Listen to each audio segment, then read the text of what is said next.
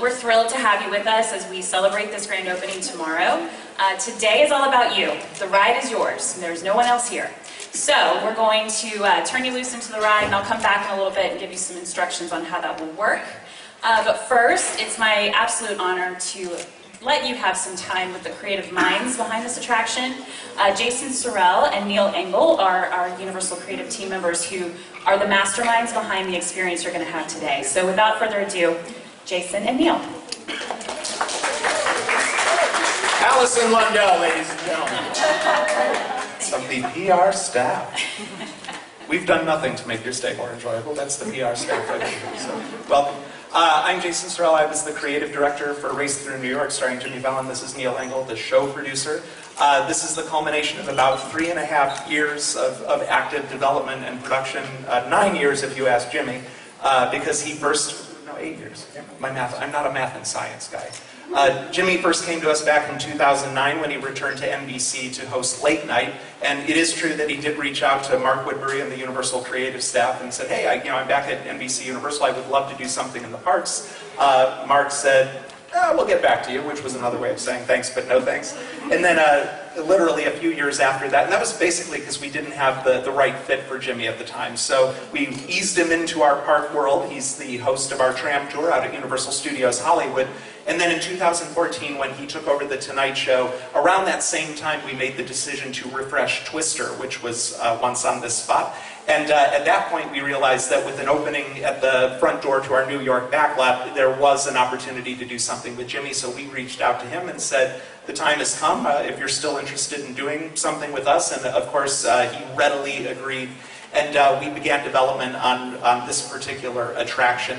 Uh, Jimmy loves theme parks, he loves what we do, um, and that was why he reached out to us to begin with. And he was also really passionate about doing something that celebrated New York, uh, the, the home of The Tonight Show, and that resulted in what you see before you now. Uh, we worked really hard to try to figure out the appropriate story to tell. We wanted it to really uh, emerge organically from the world of The Tonight Show, because a late night talk show, as we've been joking, doesn't necessarily scream thrill rides. So we were really working hard to try to figure out what we could do that would feel right. And we ultimately found our answer uh, in the show itself with all of the wacky celebrity races that Jimmy does uh, with all of his pals. Uh, most notably, the Hemsworth brothers. I believe there are 111 of them working in Hollywood now.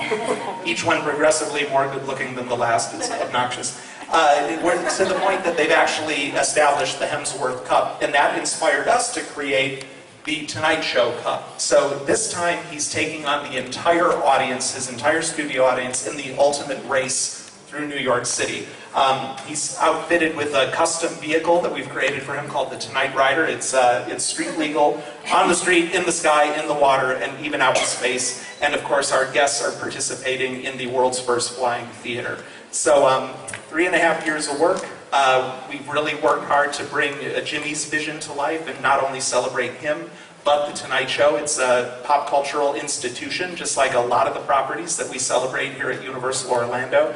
Um, focusing on The Tonight Show and, of course, bringing 30 Rock to life with all of the care and detail that would go into building a Hogwarts or a, or a Diagon Alley. We really took that seriously, and you can see the results of that around you now. Um, we're excited to get you upstairs to experience the show and our unique approach uh, with our virtual line, which Neil is going to tell you a little bit more about. Thanks, Jason. Um, uh, thank you all for coming today. Uh, we're really excited about today and tomorrow, of course. Uh, I want to tell you a little bit about the virtual line. This is a brand new concept that we're introducing here at Race Through New York starring Jimmy Fallon. Um, when guests uh, purchase their tickets and come into the park, they can download the Universal app, and they can actually fan through it and discover that Race Through New York, starring Jimmy Fallon, uh, has reservation times, open all day.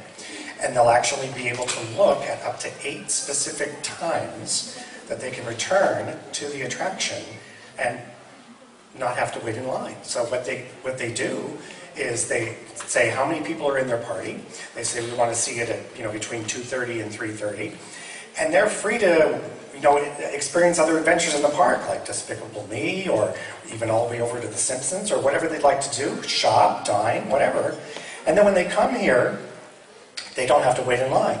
You know, it's one of the things that, you know, uh, our guests are always telling us, boy, you know, we love the parks, we love Universal, but boy, waiting in those lines, right? You know, so uh, with the new virtual line system that we hope is going to catch on with the rest of our attractions, um, they get they get that chance to literally experience the park without waiting in long lines, and we're really excited about it. So what happens when they get here? Well, if they have the phone, they make their reservation time. If they don't have a phone with them, as you know, sometimes some of our foreign guests, you know, don't have uh, you know United States phones, they can go to a kiosk which is located just outside the attraction and have one printed for them using a touchscreen so they can actually do the same thing that they do on the app on these kiosks and they'll get a printed ticket.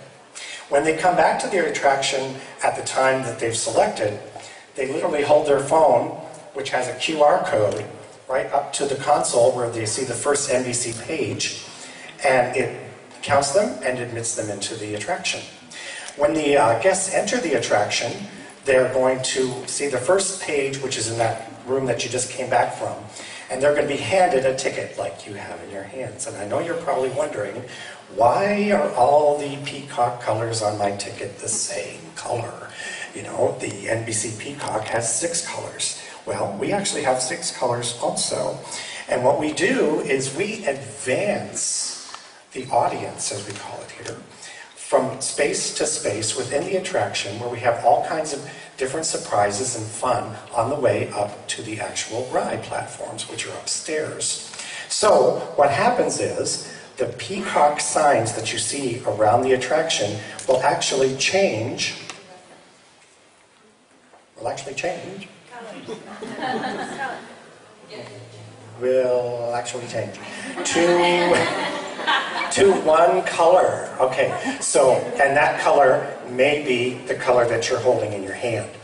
And when you do, the pages are going to say, hey everybody, if you've got an orange peacock card, it's time to move upstairs to Studio 6B. So as they get up to Studio 6B, they're treated to Never the Same entertainment in the, in the form of the Ragtime Gals from uh, the uh, Tonight Show as well as maybe even a uh, appearance by hashtag the panda, if you're familiar with them. And Why, uh, Neil, look! I believe the peacock colors have changed. I guess, Jason.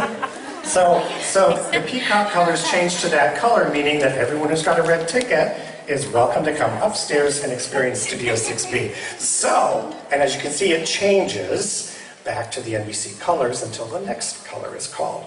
We have additional light cues by looking at these uh, chandeliers and also lights that you'll see upstairs in the Studio 6B area that also carry the color that is being called by the ride. And any NBC page that you see is, is, well, is, is going to welcome you to wherever it is you want to do.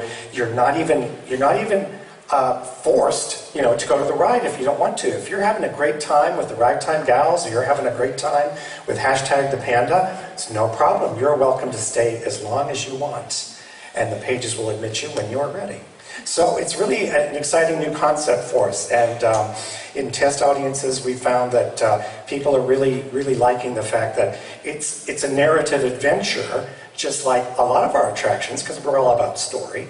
It's a narrative adventure that you experience from place to place as you go without waiting in line. So it's really exciting. We welcome you, and I hope you have a great time this afternoon, okay? Allison?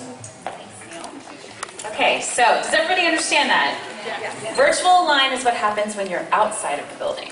Okay, so what happens with the peacock feathers and the colors, as Neil just mentioned, is not virtual line. That's just the experience you have here. So if you have any questions about that, or if you want that step-by-step process, it is on your